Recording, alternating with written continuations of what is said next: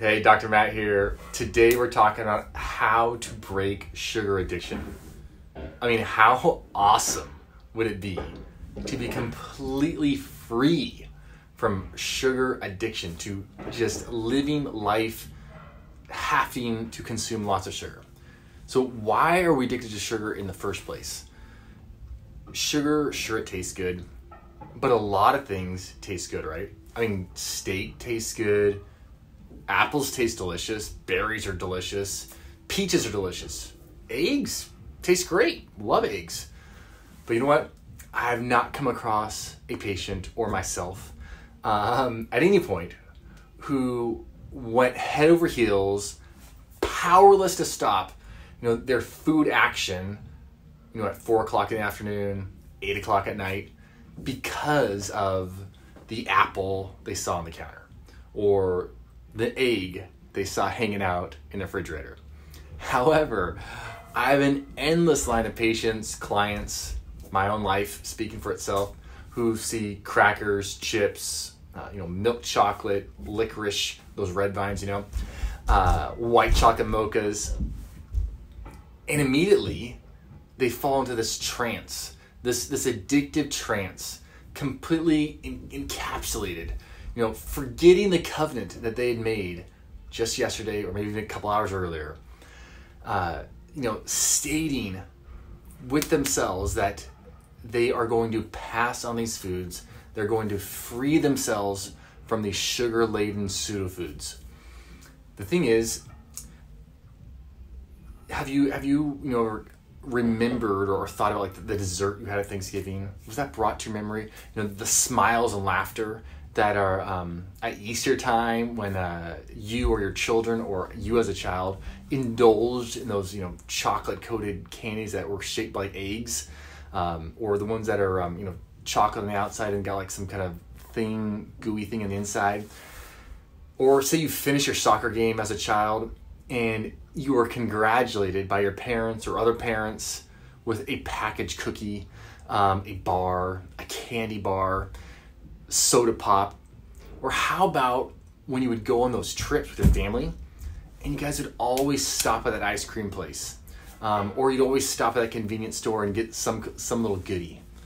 Or maybe, maybe it's after you won that game or, or many games, and you you would then get to hit up the Candy Shack or uh, you know go to Dairy Queen for blizzards with the team.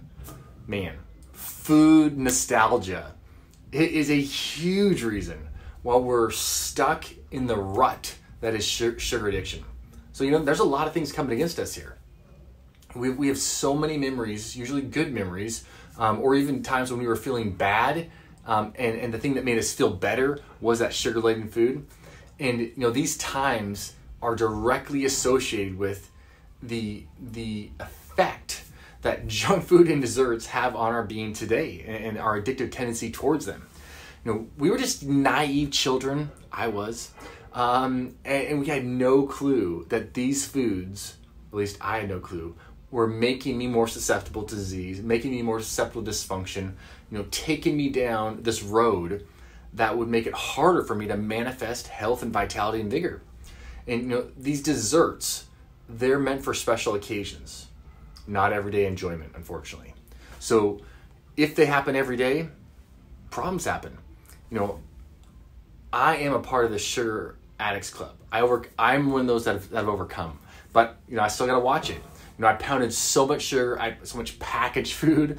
You know, it was like I, w- I thought they were the super highway to, to longevity because I was consuming them so much. But now, thankfully, via books and and um, uh, learning and learning and learning, I know that man, this battle is continual, but I'm overcoming I, am raging against the beast, raging against the beast that is sugar addiction, and uh, I've been winning. I mean, literally consistently for the last 20 years, and you can too. And so I'm going to go through. I'm going to share with you two steps and four tips to uh, help you conquer sugar addiction right now, today, to get to get on that road. And I'm this is coming from personal experience of what what can help and uh, you know, what some things I've done in my own life to help myself. So, step one is that we have to come to the understanding that added sugars and processed foods, we, we gotta understand that they literally are undermining our health. That they are not for our health benefit, for our, our, our longevity, for, for what we want. They're, they're literally, they're extracting life daily from our being. They're taking us down a path that we, in reality, do not want to go down. We do not want to participate in what these sugar laden foods want us to participate in. Things such as needing to go to the doctor more often, um, having to use pharmaceutical drugs to say keep our blood sugar under control or our blood pressure under control or keep acid reflux at bay or um, you know the pains of arthritis because the sugar has been ravaging our lig- ligaments and tendons and synovial fluid you know having cognitive decline you know way too young way before our time you know, this is the fruit, these are the fruits of a life consistently inundated with added sugars. And I don't think anybody is, any of us want to participate in that kind of life, right? You know, one time, I've told this story so many times, at one time I had a patient who lost 14 pounds in one month. One month by doing nothing else except for this one thing deleting white chocolate mochas from her morning routine. That one thing literally dropping that cup of inflammation transformed her existence. I mean, 14 pounds, boom, gone, see ya, out of here. And her health, her health trajectory, it'll never be the same by just deleting that one item, overcoming that one daily routine. All right, cool. So, step number two, you got to go all in. We got to go all in. We're talking about an addiction. And addictions, no patty cake, you know, study after study proves it. My own battle with sugar proves it. You know, leaving broccoli on the table, a Chips Ahoy cookie on the table. What do you think? I mean, what is the thing that's going to talk back to you? What's going to be louder? The broccoli, the Chips Ahoy cookie? The Chips Ahoy cookie, the cake. You know, that croissant sitting over there. You know, we, we can't play patty cake with addiction. And sugar is addictive. You know, we, we really, we just got to drop the hammer we got to go 180 degrees the opposite direction and get the results we want. The thing is, you won't overcome processed food addiction by going halfway in, by just eating a little bit here and there, by having that donut on Sundays. They literally, you know, they have they have biochemists, these these big old food companies, pseudo food companies have biochemists that are getting paid millions of dollars to figure out how to get you and me to take one more bite, to eat one more chip, to buy one more bag, to, to hide one more bag of, of or, or box of cookies in, in our cupboard. You know that your willpower, my willpower, it's gonna run out. The, the more we consume, the more the more we, we, we get hooked in, the sicker we become. And the more pseudo food will say, "Hey, it's the, it's the, it's going to declare you need me. You need me for survival. You need me cookies. I, I need these chips. Say, I you need me." Know, they they are the engineering of junk food. It literally is purely for addictive tendencies. It's not for nutrition. It's for addiction because addiction creates money for these guys. I know it sounds evil because it is evil. It's very evil. So, do we want to participate? Do we want to support that kind of evil?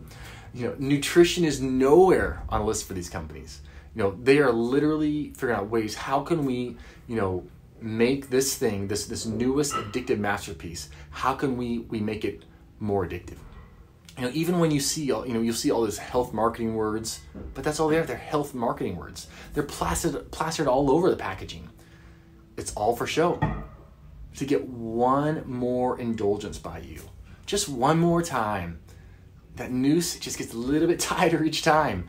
You know, life, health, vitality, vigor, freedom, it gets just a little bit farther away from us as that noose gets a little bit tighter. So I'm all in. It's not in my house, it's not in my car, it's not in my drawer, it's not in my office. I am all in. You got to go well in too. Okay, so now that we recognize that pseudo foods and sugar bombs are not to our benefit, number one. That was that was step number one. And now that we've decided to go all in, that we're we're gonna straight up gonna overcome this thing. We're we're going to go 100% in in bypassing this addictive behavior and create a new life ourselves. Those two steps, they got to be in line before we move on these tips. So, what can we, can we do to help ourselves on the daily? To make it just a little bit easier, right? to stick to the plan because we have to eat. That is, that's the problem. We have to eat to survive.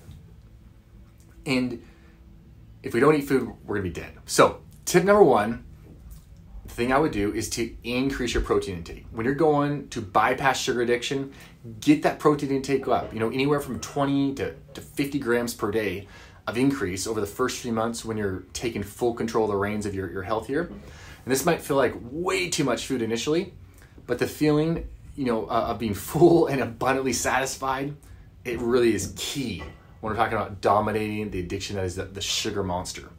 And you know, protein it, it, perks up our dopamine production with without increasing appetite, and, and this is key.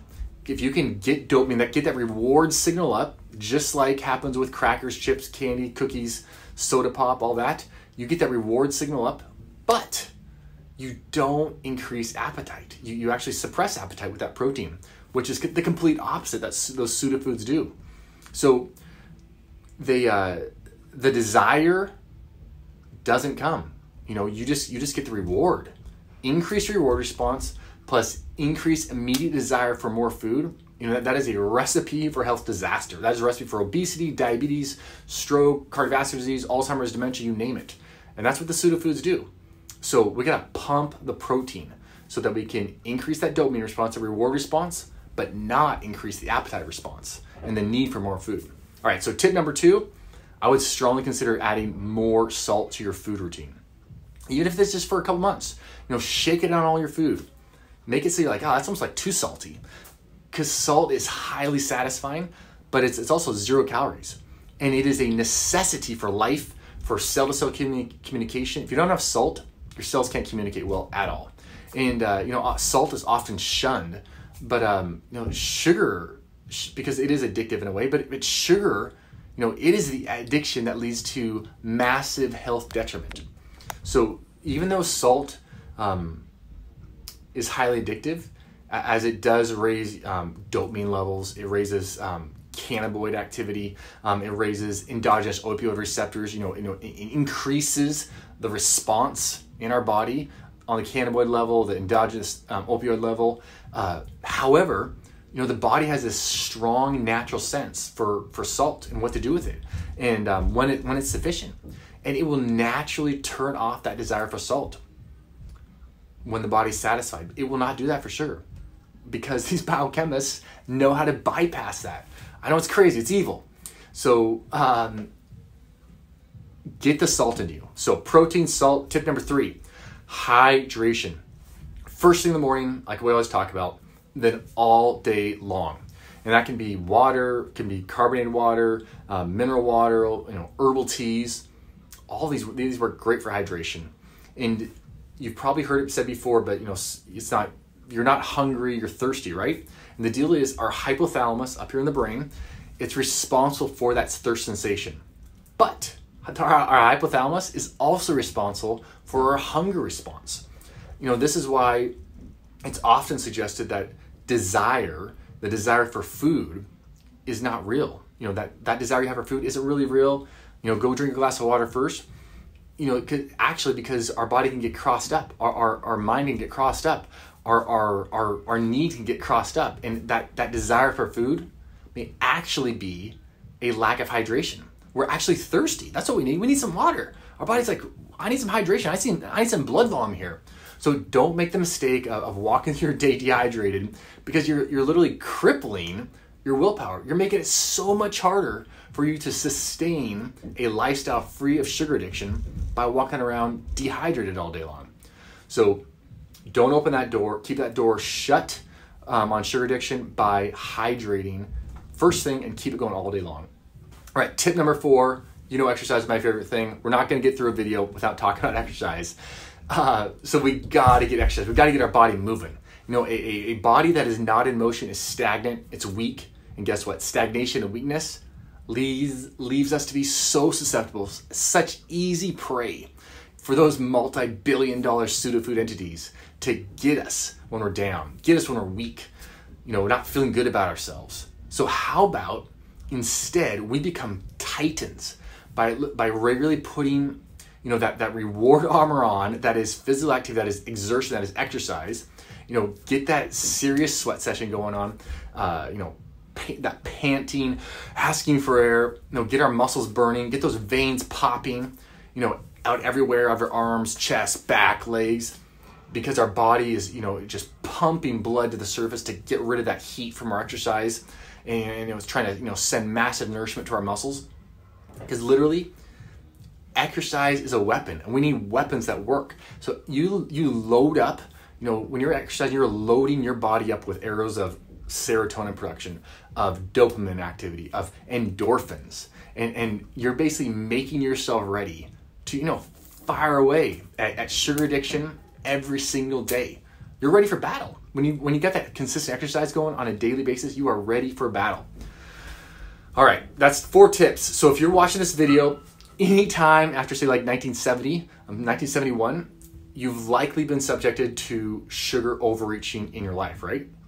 Kind of like government, like right now, um, 2021, I'm making this video. There's a whole lot of government overreaching, and it is it doesn't feel good at all. There's nothing funny about, fun about it. It's not funny. It's not enjoyable. It's not life giving. Uh, you just want to like get off me. And you probably have the same sensation the same sensation when it comes to sugar. So we want health freedom, right? And if we continually eat these pseudo foods, our health freedom is is slowly but surely, little by little, eroding away, and we're gonna be forced to use the system. That's not acceptable, right? We don't want to be subject to the system. We want to be subject to health freedom. So let's take these steps, two steps, four tips, and put sugar addiction out of here. Over the next three months, it is totally doable.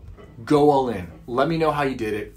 I'm Dr. Matt. Thank you so much for watching and get this life-saving health inspiration to your friends, to your family. Subscribe, share, share again. Get them, get them. They, they gotta watch this stuff. They gotta hear this stuff over and over and over again. So people can get the confidence to know that they truly can do it. You can do it. I did it. You can do it too.